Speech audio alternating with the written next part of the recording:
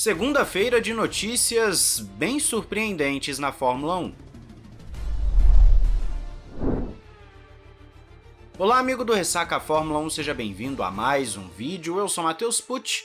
Vamos ao nosso vídeo de notícias. Hoje cedo tivemos um vídeo especial só falando do Rubinho e também quero lembrar que a gente tem um Discord aberto. Tem o Discord dos membros que a gente usa para as corridas e tem um aberto que você pode entrar, tá aí na descrição. Se o link estiver com algum problema, você me avisa, mas acho que tá certinho.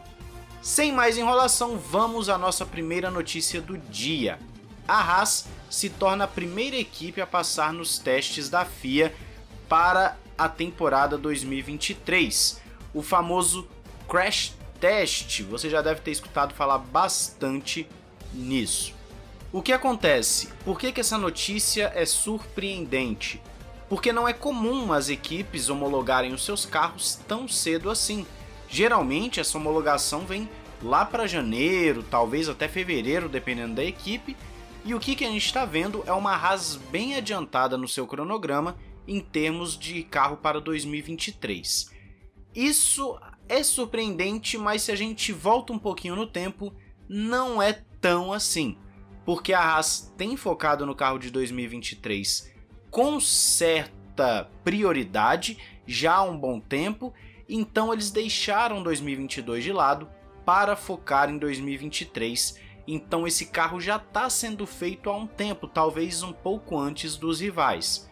Com a evolução da equipe em 2022, é natural pensar que esse foco para 23 é já o pontapé inicial para colocar em prática o patrocínio que conseguiram, que agora vai permitir a Haas ficar no limite do teto orçamentário e, obviamente, dar um salto maior no meio do pelotão para quem sabe começar a brigar ali por um P5, P4 no campeonato de construtores, coisa que a Haas já fez nas suas campanhas iniciais.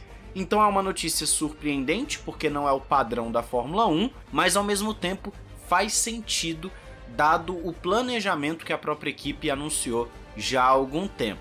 Então vamos ver se a Haas vai mesmo dar um passo à frente em relação às suas rivais e se o novo patrocínio vai permitir conduzir atualizações ao longo da temporada, se mantendo competitiva e tirar aquele estigma de ser uma equipe que só funciona no início da temporada e ao longo do ano vai perdendo bastante performance.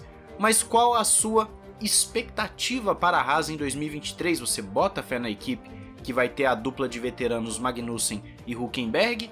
Ou você acha que tem que ficar com o pé atrás porque eles prometem muito e entregam pouco? Diz aí. Vamos para a segunda notícia surpreendente do dia. A Honda confirmou que fez a sua inscrição como fornecedora de motores para 2026 e disse ainda que o regulamento da F1 para 2026 está se movendo na direção da neutralização das emissões de carbono e também na eletrificação, o que está de acordo com o pensamento da empresa, então eles vão continuar na categoria.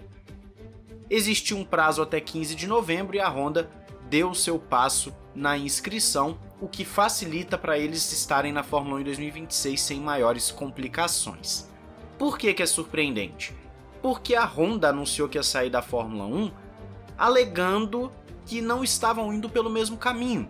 E nessa brincadeira, conseguiram até o título com o Verstappen em 2021, mas em 2022 já não era mais a Honda patrocinando a Red Bull. E lá no Japão colocaram aquele patrocínio e a gente sabe que o motor é da Honda, mas ainda assim de uma forma oficial não é a Red Bull Honda, é só a Red Bull. Para você ver como a jogada da Honda foi mais uma vez muito precipitada. Você lembra do exemplo clássico da Brown GP. A Honda simplesmente entregou tudo a preço de banana, literalmente, para Brown, e ele fez com o carro da Honda uma equipe campeã, que veio inclusive a se tornar a Mercedes agora multicampeã de construtores e pilotos.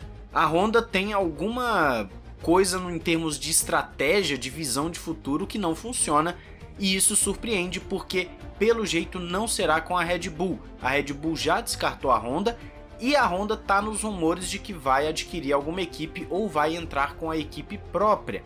E isso liga diretamente com a próxima notícia que nós temos para dar, que é o seguinte: a Williams demitiu nesta segunda-feira o chefe da equipe, o Joss Capito, e também o diretor técnico. E por que que isso é importante? A gente tem que lembrar que a Dorilton Capital é uma empresa, um fundo. Ela tá ali basicamente ganhando tempo para vender essa Williams em algum momento. Fazer um movimento desse de tirar o diretor técnico e o chefe de equipe pode sim indicar uma venda da equipe que está sendo especulada já há algum tempo numa parceria com a Porsche. E a Porsche já deixou claro que só quer entrar na Fórmula 1 se for para comprar 50% de alguma equipe. Ou seja, as peças vão se encaixando. Só que não para por aí. Existe também um outro rumor que já coloca o Mattia Binotto como sendo o cara para assumir a Williams. Então seria uma demissão para poder trazer o Binotto que estava na Ferrari tudo isso é muito nebuloso, nós não sabemos ainda necessariamente se vai ter alguma coisa uh, a nível de mudança mesmo de equipe ou se vai somente mudar a liderança do chefe de equipe. O ponto é, o movimento da Williams é estranho, é num período estranho. A princípio a equipe está em ascensão, está melhorando, ela tem um planejamento a médio e longo prazo e fazer esse movimento agora não parece a coisa mais inteligente ou lógica. Então tudo está apontando para uma possível aquisição da Williams, seria por parte do grupo Volkswagen, mais especificamente da Porsche.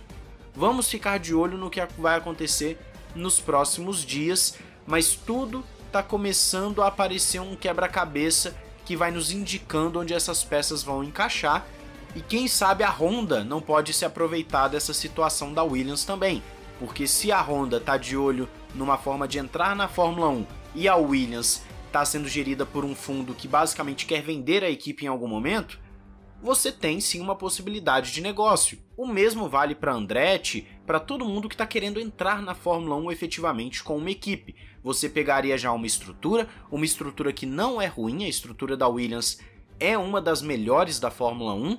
Você já teria pessoal, você já teria uma série de coisas basicamente o que precisaria seria um motor. E a Honda já tem o seu espaço de desenvolvimento, a Porsche também já tem programado o seu espaço de desenvolvimento da Fórmula 1, não seria algo difícil de fazer. Basicamente é uma grande oportunidade que aparentemente está surgindo no meio da Fórmula 1 entre as equipes e uma equipe muito tradicional.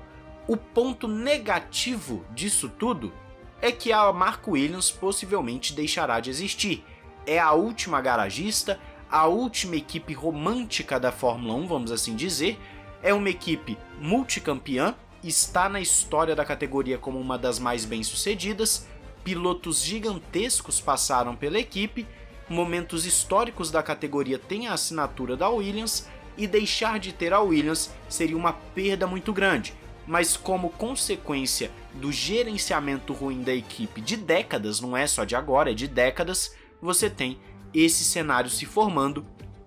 E eu, Matheus, acho sim que a Williams será vendida em breve. Deve ter algum anúncio nos próximos meses. Se não for vendida, ficarei bem surpreso, porque, como disse, é uma oportunidade de mercado muito grande para quem está querendo entrar. Mas qual a sua opinião, qual a sua expectativa? Diz aí nos comentários. Não esqueça de se inscrever e ativar o sininho para não perder nada. Um grande abraço, valeu e falou!